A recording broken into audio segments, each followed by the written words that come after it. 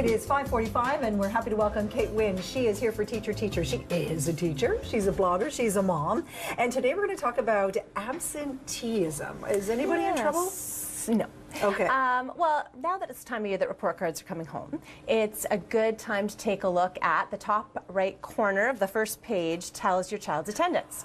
So it has their number of absences as well as their number of lates. Okay. So parents know when their kids have been away, but you might not realize how they're all adding up. So it's a good time to stop and think about it. There are tons of reasons why you know we want kids in school.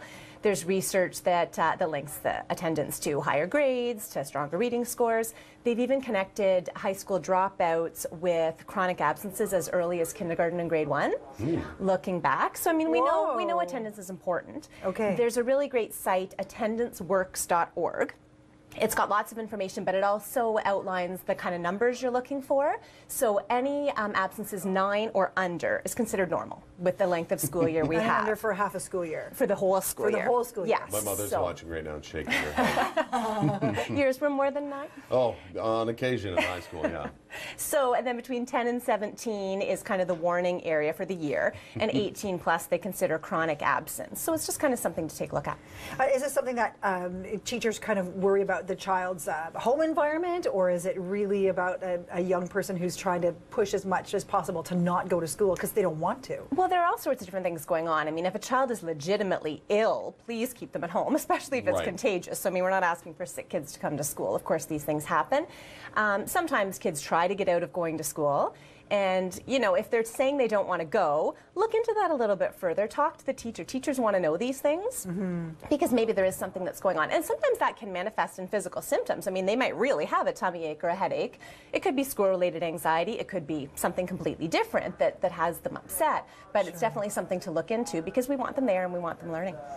So, as a parent, when you're seeing your kid, uh, you know, sick every day for school, um, how do you tackle it? Aside fro- from talking to teachers, how do you tackle it with your kid? Because you know, you don't want to start calling your kid a liar or something, right? Like, No, for sure. No, it's really tough. And I mean, definitely, if there's uh, any possibility of something medical going on, check with the doctor too. Sometimes you can even write a note to the teacher and kind of staple it up and say, you know, he said he has tummy pain this morning. Could you, you know, touch base with me later on? If he's saying he has tummy pain to you, you know, I could come and get him. But just try to get the kid to school to start off the day. Sometimes once they get there, especially if it's nerves about school, once they get there and get going, it's fine.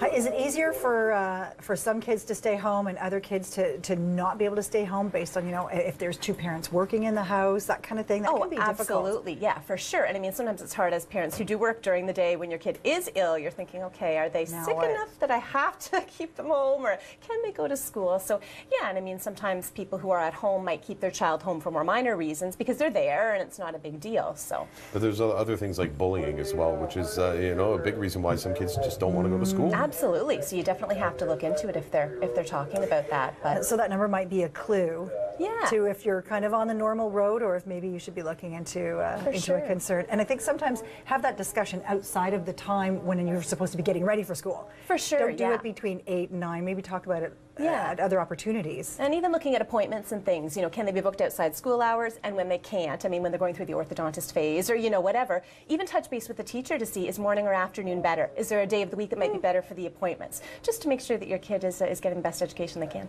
That's mm-hmm. fantastic. Mm-hmm. Thank you very much, Kate Winn. That was Teacher Teacher, and we've got the roundtable in a second. But first, let's finish up with Caitlin.